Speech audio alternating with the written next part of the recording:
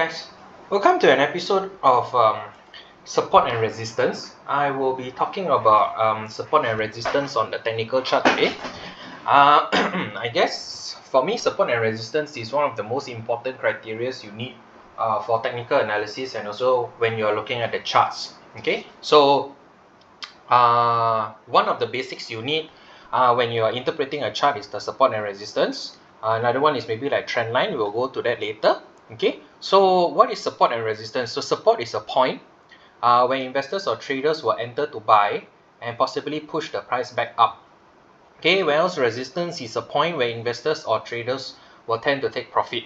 Okay, so in other words, at a support level, you will see a stock price try to resist from going down further, whereas at a resistance level, you will see a stock price resist itself from going higher. Okay, so this is just an example. Imagine a tennis ball action okay bouncing on the floor uh, which is the support and when it bounces off the ceiling it's actually resistance.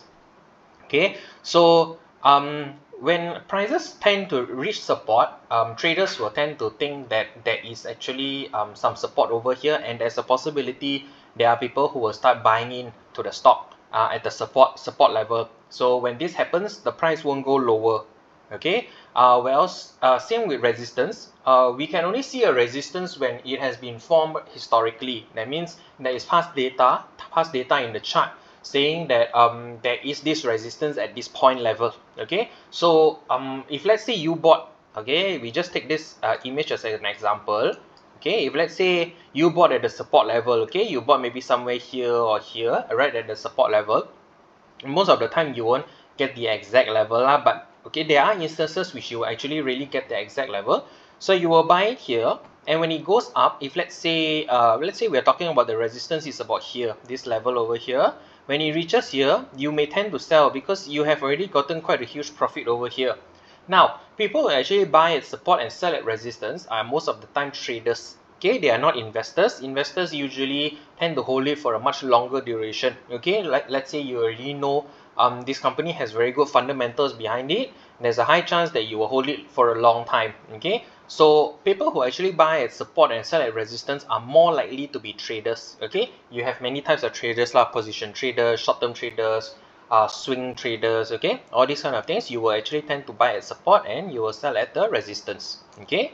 We'll go through the slides first then we'll go over to um, the the chart okay? Where I'll explain more okay so what are my thoughts on support and resistance? Okay uh for me um, support and resistance is, just, is actually a study of human behavior okay? Uh, you can only find support and resistance if you have the past data in the chart okay? Otherwise actually there is no support and resistance. So you know sometimes when there are IPO stocks that come out um, and then you are like you know at what price uh, is the support and what price is the resistance? Actually there isn't okay? You have to wait until um, the stock actually settles down first. You know there's some data over the past few days. Then only you will actually see uh, where the support and resistance is.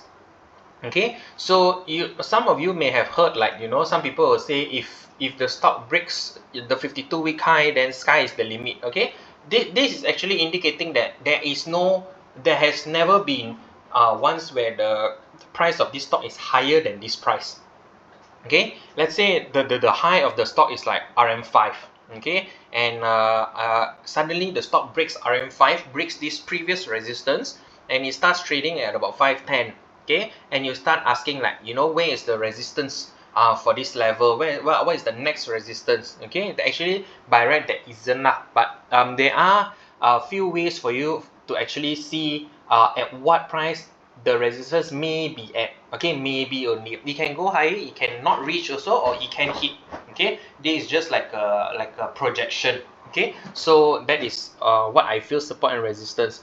How the support is formed is actually from human behavior. Okay if let's say if let's say today I'm buying the stock called Milo okay if let's say there's a stock called Milo um, and uh, it's it's it's going on a downtrend okay from let's say 3 ringgit it has dropped to about 2 ringgit and it's still dropping and all of a sudden me as a you know maybe I'm a, a banker or fundamentalist and I start seeing like you know actually uh, 1 ringgit 80 cents seems like quite a fair value for this stock. Okay? So I may start you know buying in at 180 okay? And if let's say you know I'm a huge uh, institutional fund coming in and I keep buying in to the stock at about one uh, 180 you know or 2 ringgit and uh, the stock kind of stabilizes over there that means there is a, quite a balance of supply and demand over there. That will form a new support for the stock okay? So it's not to say like um that there is a fixed um uh, number or where you will see the support and resistance is lah okay?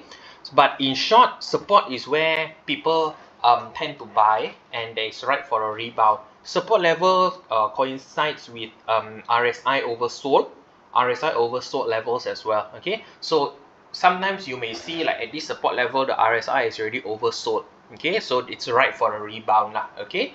And resistance is where a lot of sellers like I told you just now. So the entire market is actually governed by a lot of supply and demand okay? So when there are a lot of sellers it shows that there is an excess supply okay? And on the other hand when there is support it shows sorry this is shows that there is a huge demand there okay? So when there is more demand and the compared to supply the prices will increase. And when, when there is more supply compared to demand the price will decrease decrease okay? This is a theory that we also use in everyday life lah okay? For example I think uh, as of now um, sugar sugar is low in stock so demand is high price is increasing. Uh, another one I think is uh, rice okay? Uh, rice is also low in stock uh, there are also rumors and articles saying that um, people are actually transferring the local uh, rice over uh, and repack it as an imported rice okay? So that is where you see the demand is the same but the supply is not enough. So the demand becomes more than the supply. So when this happens price tend to increase okay? The, the, the concept is actually same everywhere. For example if let's say a lot of people buy gold okay? Gold is like a limited supply kind of thing okay? So when you people will say you know buy gold now keep it you know 10 years down the road the price will increase you know because there is not much supply. Okay it's the same with go, going with um, oil. Okay oil is like a limited supply kind of thing. So eventually your demand may be higher than your supply. So that's how it works. So at a resistance level if let's say there is not much supply and there's high demand buying will actually break out break through the resistance level. Okay whereas at support level if let's say your your demand is not strong is not stronger than the supply there are too many sellers it will break the support. Okay? I will explain it i think it will be better when we go over to the chart lah. Okay? And lastly so if you're able to grasp this theory looking at charts it will be much much easier lah. You will be able to recognize uh, where are the support and where are the resistance levels. Okay? Okay let's go over to the chart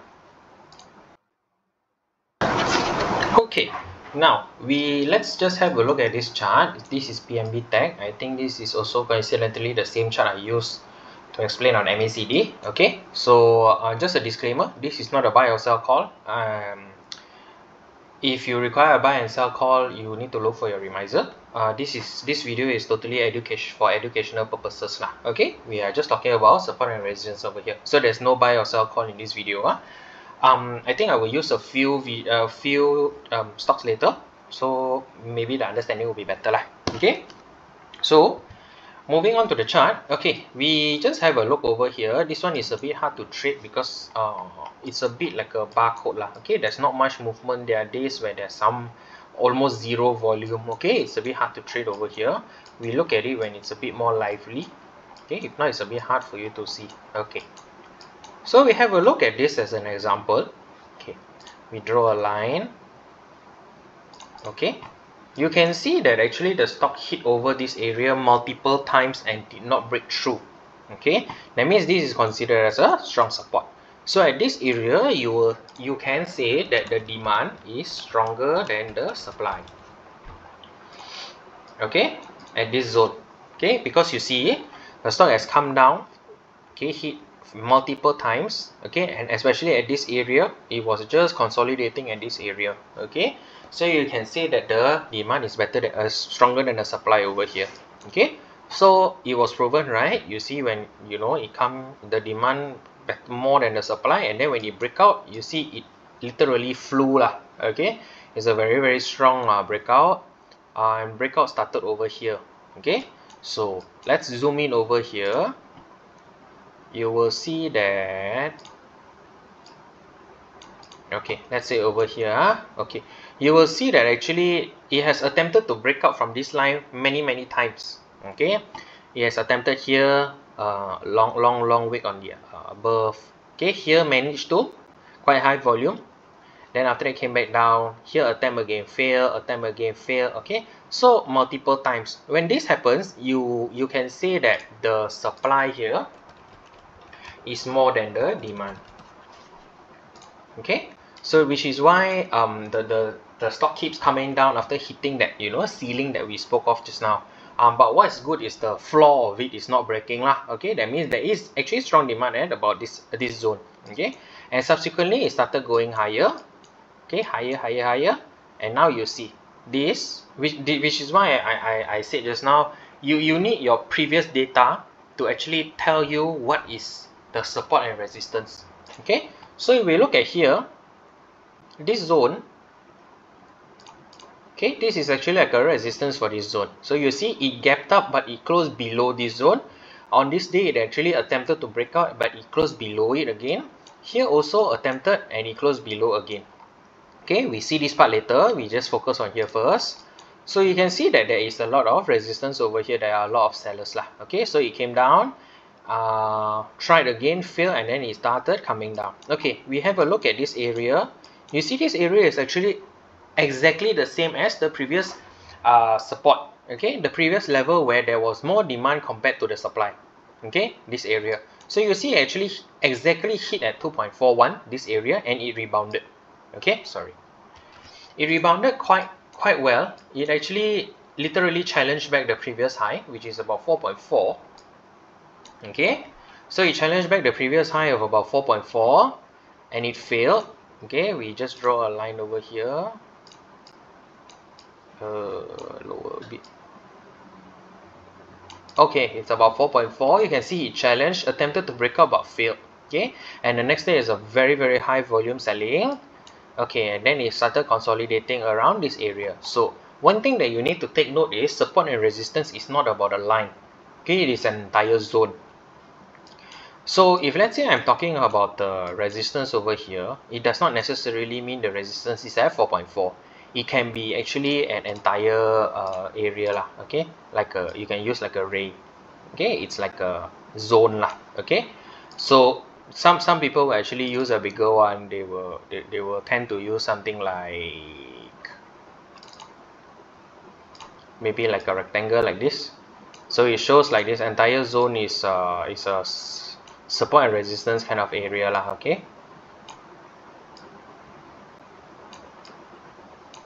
Okay this entire zone okay? So it's, it's not a necessity that is only one line okay? There can be actually different different places. Maybe we just have a look at other charts as well later okay?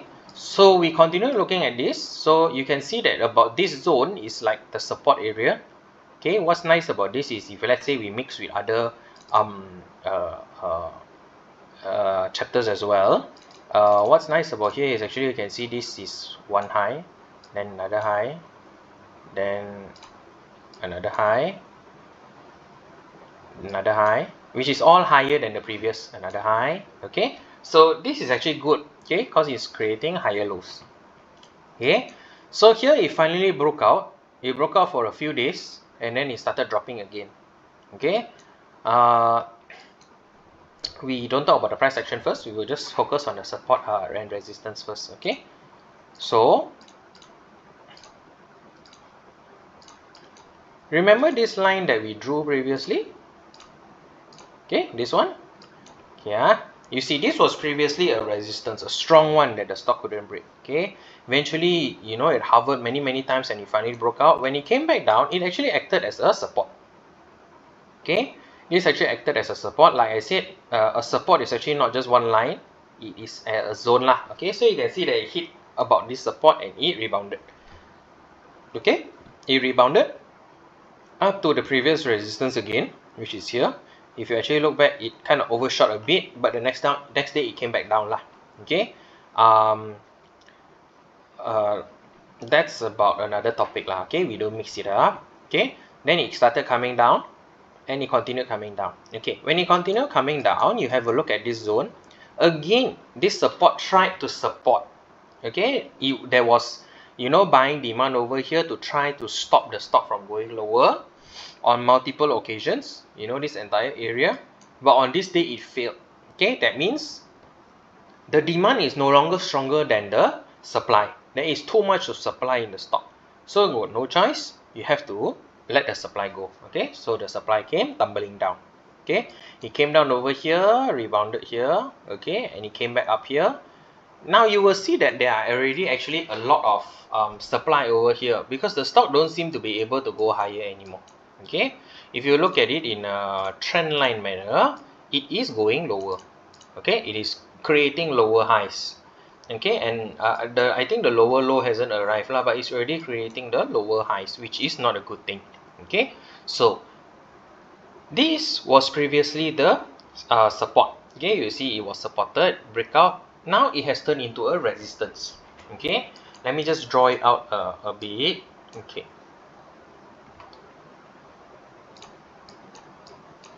This is a resistance. Okay? And this is a support. Okay? When a stock comes it comes and rebounds like this. Okay? This is what you see on all books. Okay? This is what we call theory lah okay? Um, but when you actually look at it in real life it's always not the case lah okay? Same like when you go school you study whatever they give you it's always looking so easy but you know when you really take the exam it's not so easy lah okay? So on real life maybe it'll be something like this.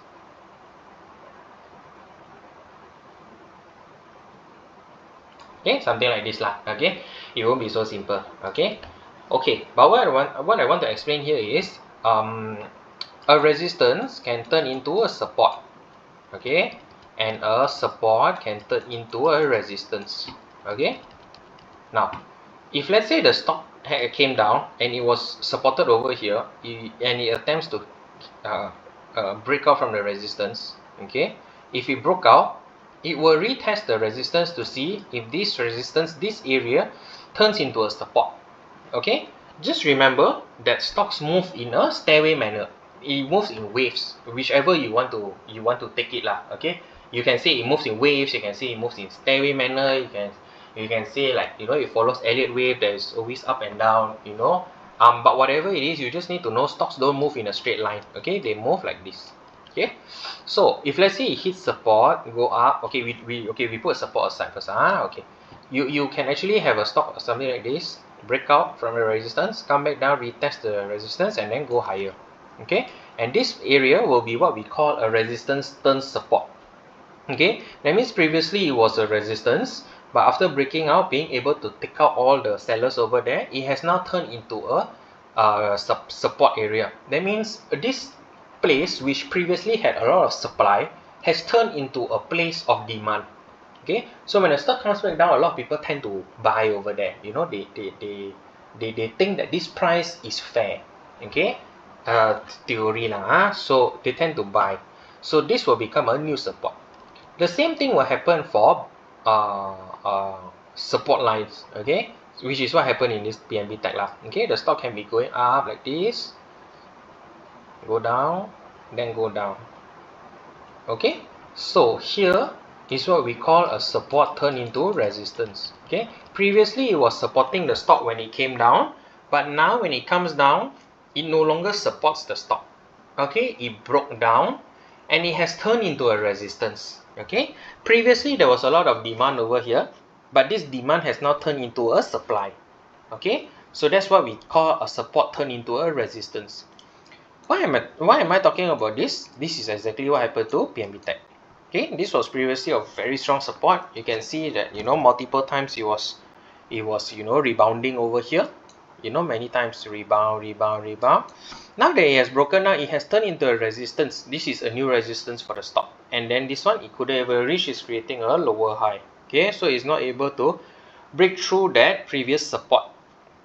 Okay, and now it's coming down lah. Okay, so that's uh, how we see support and resistance okay now let's go over to another stock I think this stock is quite nice okay. If you have a look at Takaful I didn't draw any lines ah. we will just draw it now lah. okay? So you can see that this is definitely a resistance. Okay? This is a clear cut resistance lah. Okay? You can see so many times. Yeah we see from this side. This sign is just hovering around here you know break out and come back down break out come back down. Finally cannot so it came down. And then this this line has now turned into a resistance. Okay so it came down you know attempted to break here failed so it came down again. Okay? And then last attempt here breakout successful. Okay? What you need to note during the successful breakout is the high volume over here. Okay? You can see that the volume is actually much higher than the previous days. Okay? So this is an example of uh, resistance. So we come and talk about support. There is obvious support about this zone. Okay and you see here up a bit up a bit up a bit. Okay. The good thing about this is despite the erratic movement over here it's it keeps creating a higher low. First low second low third low fourth low fifth low sixth low. Okay it keeps going higher. Of course this is a bit parabolic already lah. Okay. So this is regarded as the support so now he has broken out of his resistance but this is not a good candle lah. This is a shooting star candle okay? So once he has broken out already now he came back down. It's going to retest the previous um, resistance area to see whether it turns into a support or not okay? Has broken down slightly a bit about here but it has rebounded quite well lah in my opinion okay? Uh not sure whether it will continue going higher or not. This video is entirely to to to to teach you about support and resistance only lah okay okay let's see what other stocks we can we see? Mm. ah let's say eForce okay? This is quite a penny stock uh, but I think the support and resistance is pretty obvious okay? We have a look here. Okay. You can see that there is quite a strong support over here at 0.39 okay? You see ah we always use previous data to find back what is current data okay you see here it was supported multiple times. So many times it was supported over here. Okay? Multiple times. And finally when it couldn't already it broke down. Okay? And you see usually when it breaks down from this support the volume will be higher. Okay? Because there are a lot of sellers over there. Okay? There were a lot of people who were buying over here. And once it breaks down you may sell. Okay? Because going down already ma okay? So you can see that the volume increased. Okay? And then subsequently it went down go up back. And you can see it still acts as a support over here okay? It's still from the previous data it's a support. Went up. And then after that got sold down quite badly. And here it turned into a resistance. You see it hit here and then came back down okay? Quite high volume also compared to normal days lah okay? And now it has broken out. You see here is high volume. You can see the bar is quite high okay? And again is using 0.39 as the support okay so this is another example of support and resistance and support turn resistance resistance turn support lah. Okay? You go another stock let's say um, escape price okay we, we can have a look at escape price no problem. Okay? Uh easier to see like this. Okay. So looking at escape price you can quite obviously see there is some resistance at here 0.98 okay? You can see that you you it came up here tested once fail tested again fail tested again fail and finally it broke out okay it finally broke out from this area. Uh, but it's forming some support at about 1 instead of 0 0.98 lah. Okay 1 also happens to be the level that it, it previously reached. Okay so uh, not necessarily you'll always get a support turn resistance or resistance turn support. Of course it's better. It will further um, make like a you know solid base but it's not like a compulsory thing okay? It can and it cannot also okay? So you can see over here this was this is considered as like a new support okay? And this will be a resistance okay? Why previously I put 1.08 as the resistance? You can look at this okay? It hit 1.08 multiple times and didn't break. Uh, finally it gapped down and continued going lower okay so well, I, my opinion is 1.08 is a resistance lah okay? Now we go I, I mean support and resistance is not only for the Malaysian market lah. You can use it uh, I guess almost anywhere okay? Let's say you want to see Dow Jones index is similar lah okay? Like here you can see that there's a support over here you know multiple support and then it came supporting again okay? And if you want to talk about resistance probably somewhere about here okay? Multiple times it hit. So support and resistance is actually um, you can say it's like the basics of the stock market lah. Uh, the analysis sorry not the stock market. It's like the basics of the entire stock. You must know um, how to identify a support and resistance okay? From there only you can start moving forward. Like if like example you want to draw a trend line okay? You also need to know the support and resistance first okay for example like this. This is a trend line. This is a very nice trend line in fact. Okay? But you need to know the support and resistance first because this is the support lines. This is the low lines. Okay? You draw a line through go throughout the entire trend uh, entire thing and you will get a uptrend line. Okay? And if you want a downtrend line it's similar just that it's from the high to the lows. From the highs lah. Okay? You see? It's a nice trend line here also. Okay? Quite following lah. So that's support and resistance. Okay? It's very important it's literally a compulsory thing for you to know okay? Um, we can even try uh, US stocks uh, um, let's say Apple. Okay? You can have a look at Apple. This is obviously a resistance. Very obvious okay? Like I said resistance must not I mean doesn't necessarily need to be one line okay? It can be like a zone so if you look at here we look at past data you you you will you will see like oh here is a resistance. Okay? And then here it couldn't hit. You know it's not uh, breaking a higher high. I think a higher high higher low um, we will keep it for another class another session. Okay? So here you see there's another one.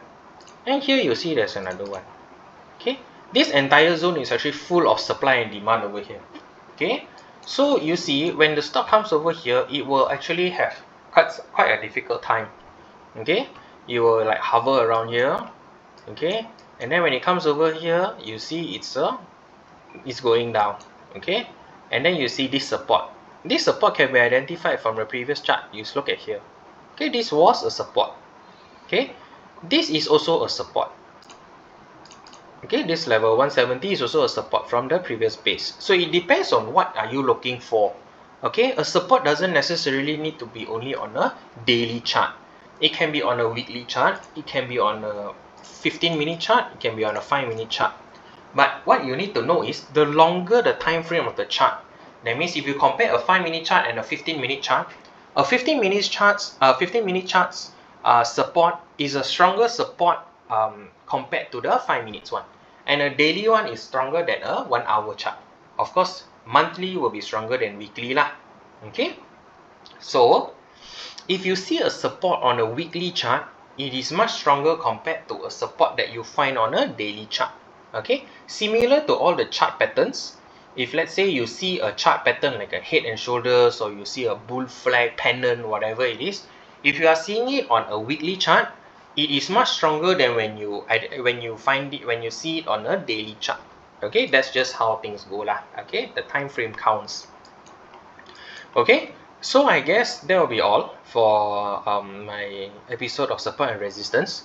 You can leave down in a comment if let's say you have any questions and you have any queries that you want to ask. Okay um, stay tuned for the next video. Okay that will be all. Thank you. Bye bye If you liked this video, be sure to hit the like button, and subscribe for more videos.